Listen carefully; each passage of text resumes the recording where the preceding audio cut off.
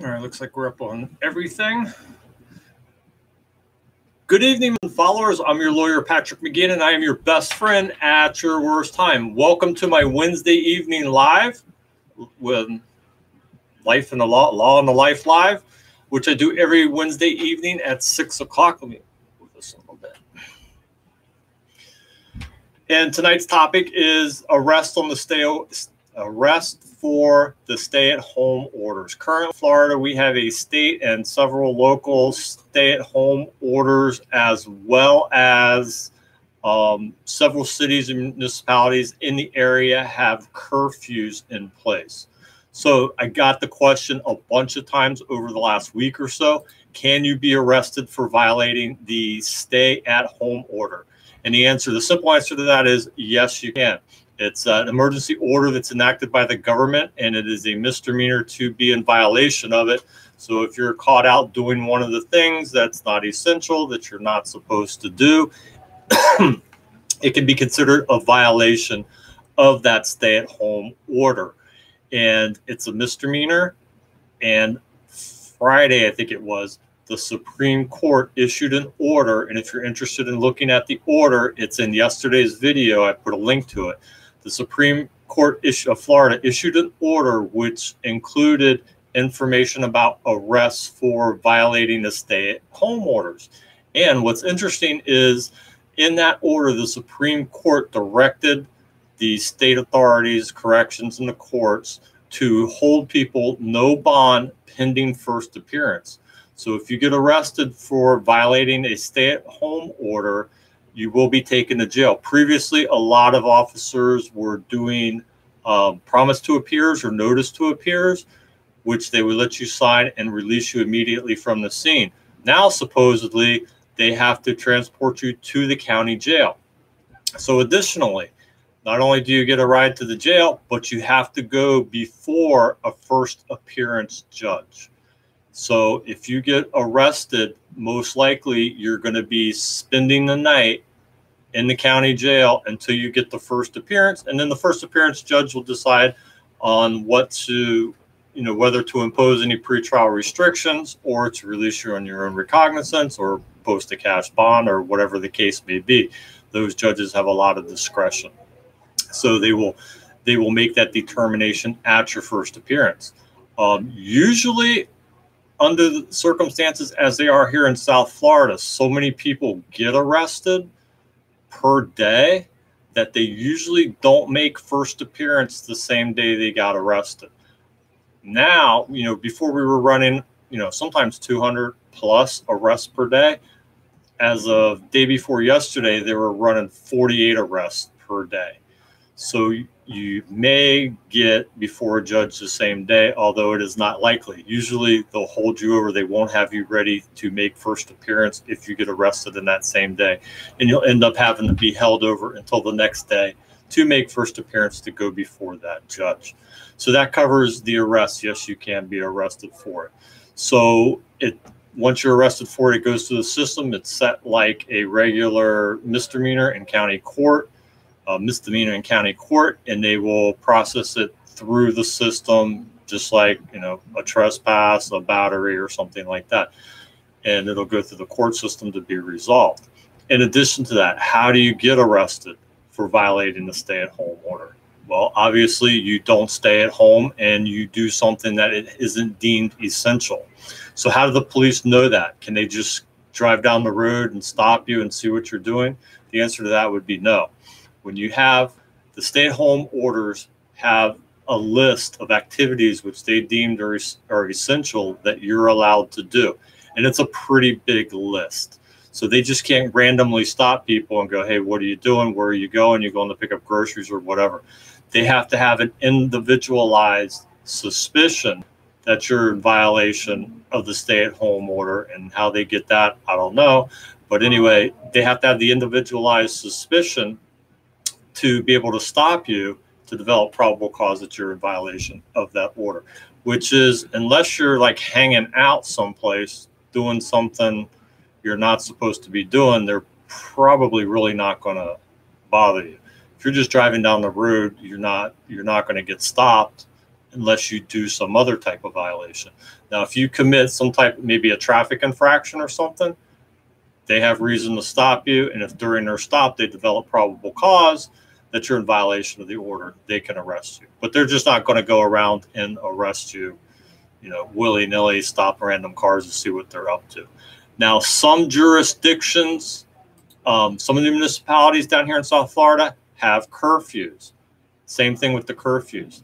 The curfews have a lot of activities you're allowed to do. So before they can get you for a curfew violation, they have to have the reasonable suspicion to stop you that you're in violation of the curfew.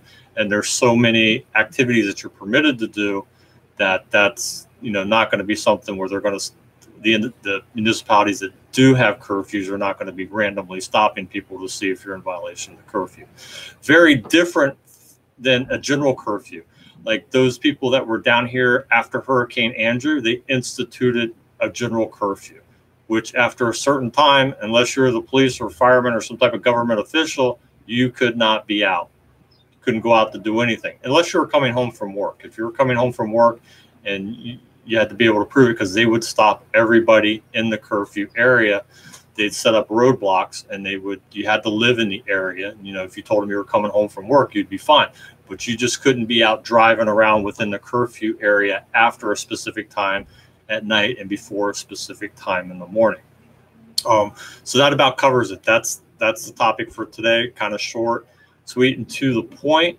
Um, I'm interested in, and always interested in what everybody's doing on the stay at home under the stay at home orders. What type of things are you getting done?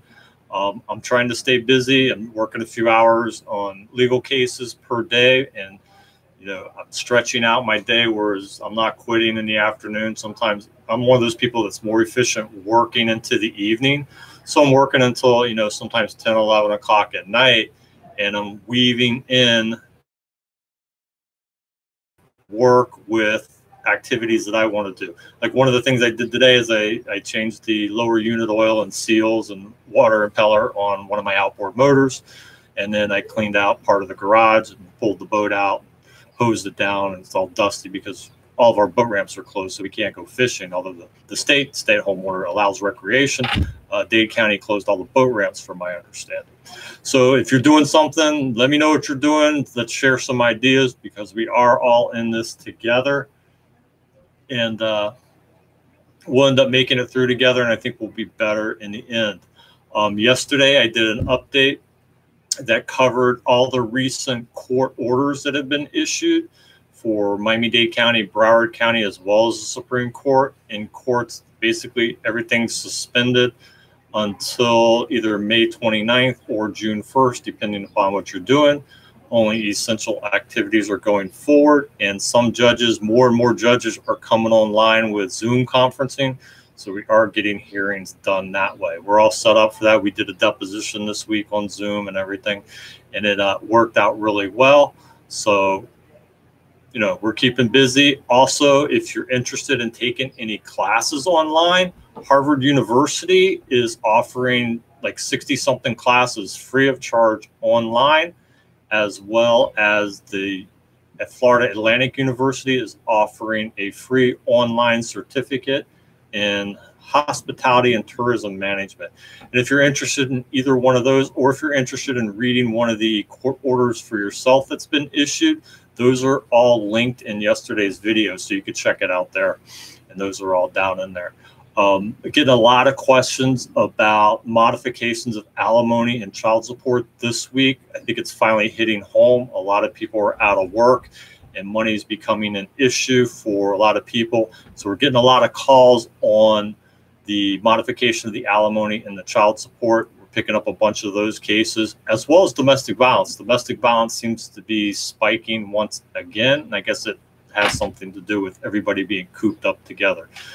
But we've got a, a couple of those on the pipeline coming in but uh, modifications of child support and alimony were probably the number one inquiries this week.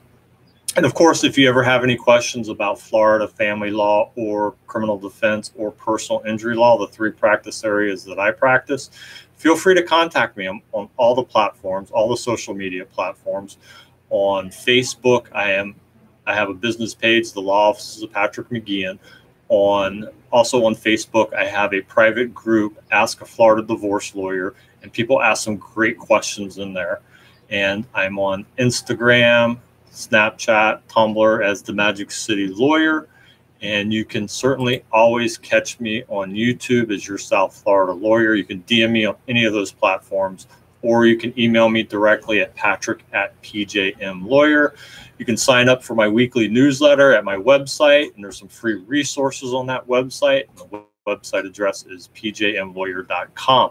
Also, if you have a family law case going on now and you want to save yourself some money on attorney's fees, you can look at my cheat sheet or ebook, whatever you want to call it, and it'll show you how to save some money on your family law attorney's fees. And that is available as the first pinned tweet on my Twitter profile, which is at PJ McGeehan Law. So check that out if you want to save a couple bucks, probably more than a couple bucks, a lot of bucks on uh, some of your family law cases.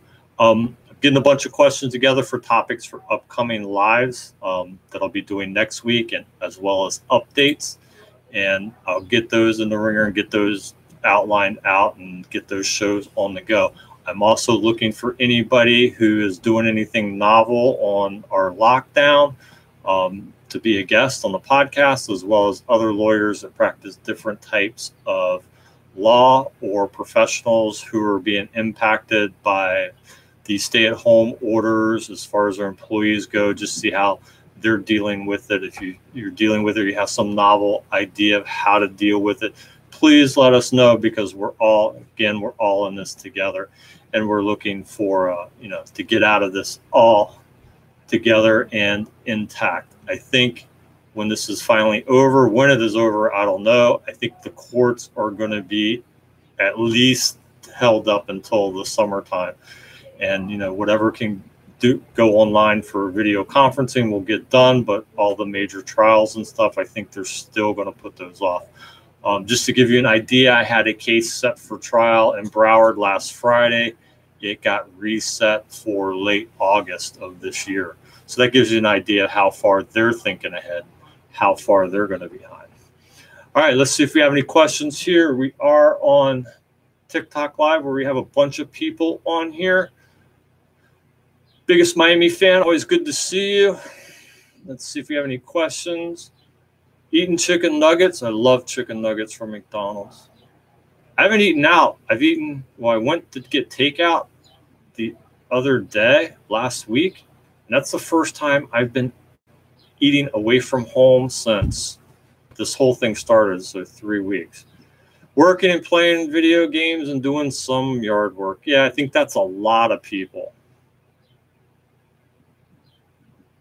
Good do your mentoring. If you if you can do something for somebody during this time if some you know your neighbors need help or whatever of course not violating any of these social distancing requirements but if you could do something for somebody reach out to them and do it. I mean the karma that comes from that the good karma that comes from that is uh, is amazing. All right the infected police officers. That changes things. All right i wanted to ask if you heard about I heard about it. I heard BSO has a lot of people that are down that have tested positive. I heard a big portion of their dispatch is uh, has tested positive. As far as my former department, Miami Dade, I don't know what the statistics are on officers uh, that are infected that have been sent home. Um, as far as I know, I have a couple friends in dispatch. I don't think there's any problems in Miami Dade dispatch and the other departments I just don't know about. But I did read an article earlier today that New York Transit employees are testing positive at three times the rate of police officers in the city of New York. So that's that's kind of interesting. How long have I been practicing law? Let me think. 13 years? And before that, I was a homicide detective with Miami Dade Police Department. So this is a second career for me. Yeah, it's alarming. It's alarming how many people are, are testing positive. It's good that, you know, a lot of people are getting through it and recovering from it, but it is alarming how many people are testing positive for it. And it's concerning because, you know, they keep preaching this this curve thing and flatten the curve. Well, when is this curve going to come? And is there going to be a rebound infection or a second, you know, peak in it? I don't know. That's all that stuff is way beyond my, I guess, pay grade. And I just, you know, I just got to go by what everybody else sees.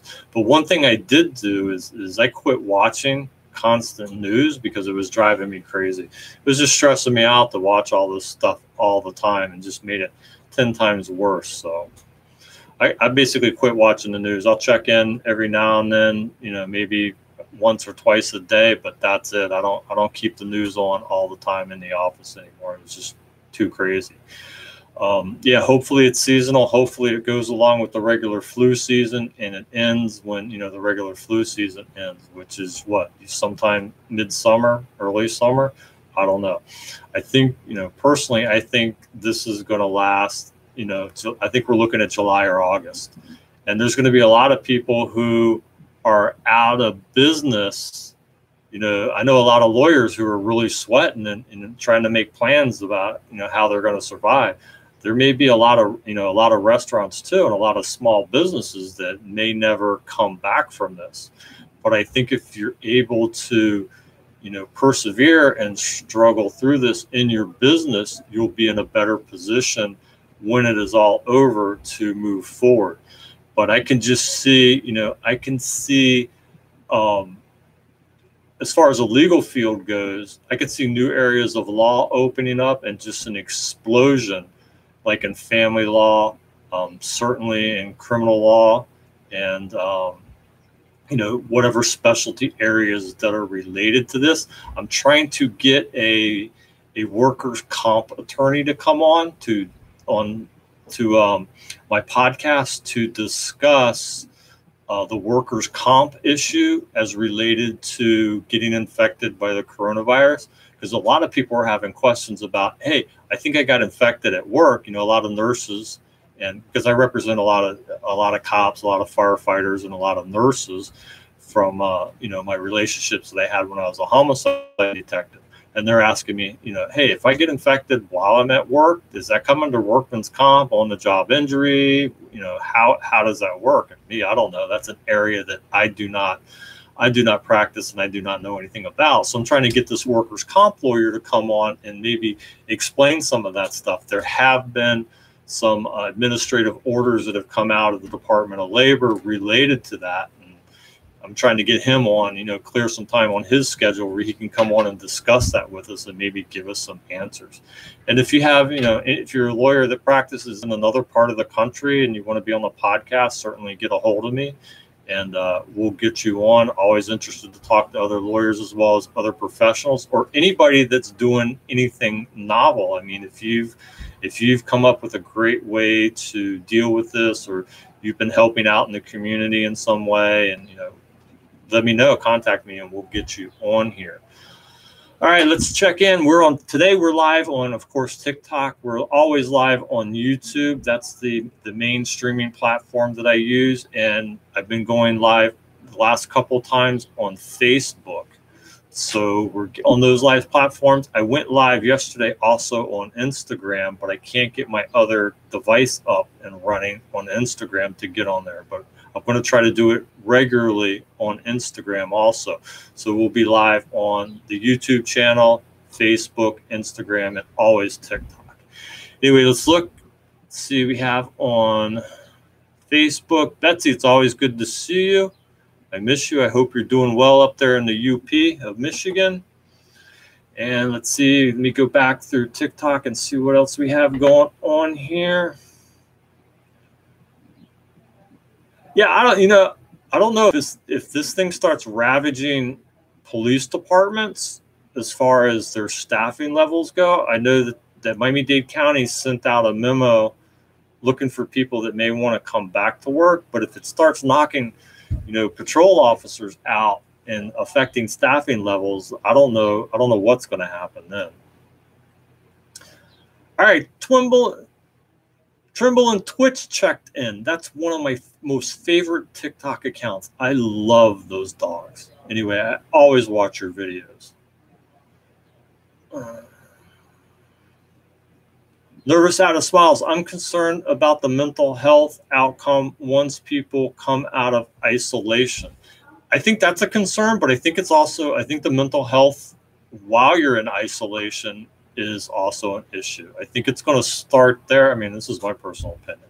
I think it's going to start there, and then when it comes out, I mean, what's what is normal going to be when this is all over? Especially if this goes on for another month or two. I mean, how how is this going to affect personal relationships? How is this going to affect socialization? How is it going to affect business relationships and how we deal with other people? All right, biggest Miami fan. I'm trying to figure out why your shirt is bright blue. It's dark blue. I wore the I wore the, the bright blue one last week.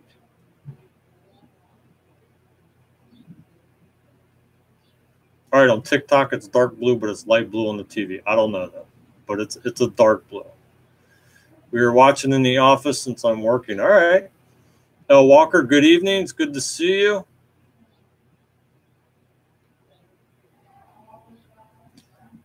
All right, El Walker, how, hello, how, you know, it's, it's hell getting old when you can't read. Hello, do you know much about financial law? Mm, not really. I practice three, I practice three areas of law. I practice criminal defense, family law. I do everything in family law except adoption and termination of parental rights. And I practice personal injury accidents, but only car and commercial vehicle accidents. So the only financial law I know other than fraud that falls under the criminal umbrella would be the financial disclosure requirements in family law cases. And that's about it. So let me check. That looks like it for questions. Thank you everybody for joining me. I'm very humbled that as many people check in and, and view my material and view my content as does. I'm very humbled about that and I'm honored. And one of the main reasons I do it is not only to get information out to you to be helpful to you in case you have a legal issue in one of these areas or you know you have a, a question about building a business or running a law practice or anything like that. Not it's not only to get information out from you, it's to learn from you. I learn more from my clients and my followers than probably any other source anywhere and it's just been eye opening. And I always try to share some of those lessons that I learned um, with you. Um, it looks about it. it. Looks like all the platforms are up and running. They're all the questions answered. I'll give a few more seconds on on TikTok here. If you haven't been on TikTok, TikTok is just like the greatest thing in the world. You can find me there. I'm the Magic City Lawyer there. That's my account. I just love that. It's the neatest social media platform. I can I've ever seen. Can you say hi to Avery? Hi Avery, how are you? Miami fan, have a good evening. Stay safe. Everybody stay healthy. Remember, we're all in this together. We're all going to get through it together. And in the end, it'll be, we'll all be much stronger. And, you know, try to focus on the positive instead of the negative. One of the, one of the positive things that um, that I focus on. You know, every day I try to sit down and go, okay, what's good happened today? You know, I got some work done on the boat. I got work done on a couple cases. I got a bunch of motions filed this morning that I needed to file. So always trying to make progress. Even if you only accomplish one thing per day, you know, that's progress. And that's that's, you know, that's commendable under these times and just keep focused on your positive aspects. Other positive aspects, as far as like saving money, I'm saving a bundle of money. Not eating out. I'm getting about three weeks to a gallon on, on my car. I filled up my car. When I filled up my car like two or three, two weeks ago, I filled up my car and it, you know, we're just not going anywhere. So we're saving, you know, you're saving there. And I'm saving just a bundle and dry cleaning on alone. Uh, the dry cleaning bills were running, you know, 100, 150, almost 200 bucks every other week. And that's basically been cut out because all you have to do to appear on uh, any of the hearings that we're doing on, on Zoom is, you know, wear a shirt and tie, maybe a coat, throw a coat on, but that's it.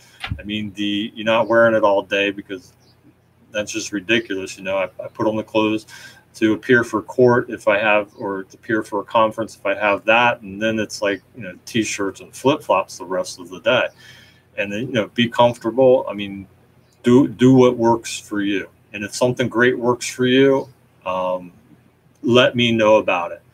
And uh, I had I had somebody on one of my there, here's an idea that I came up with. I had somebody on one of my well, I'll make another video about that. So that'll be another video for another topic. I won't let that cat out of the bag. White Boy 68, what do you know about constitutional law? As far as it applies to criminal law, and I mean, I know enough as far as it applies to the cases that I deal with. You see, a lot of lawyers, I mean, I guess most lawyers, at least most that I know, know their practice areas really well. So, I mean, my practice areas of that I can think of of criminal defense and family law, they have constitutional aspects related to them, and I know those constitutional aspects as relates to my area of practice.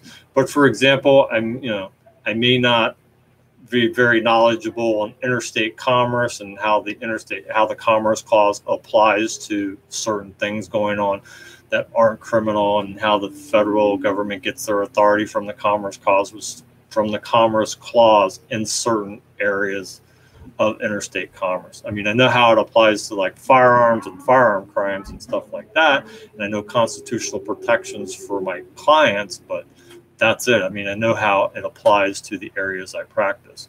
Looney 5216 just wanted to say thank you for all your videos. I love doing them. I love meeting with you guys. Um, I try to get on here every single week, Wednesday Eastern, 6 p.m. Eastern. And then I've been doing updates on Mondays. I didn't get to it this Monday because this Monday was absolutely crazy. I just got too busy. So I did the Monday update on Tuesday and talked about new court orders that came out. Anyway, it's been my pleasure. I'm glad you checked in here. I hope to see you all again. For everybody that checked in, everybody that asked a question, everybody that just came in and spent a couple seconds, you know, seeing what I have to say, I truly appreciate it. And Betsy, it's always great to see you. Um, that looks like it. Got all the platforms covered. I don't think I have any more questions. Good night, everybody. Stay safe, stay healthy, help your fellow man. We're all in this together. And I will see you next week.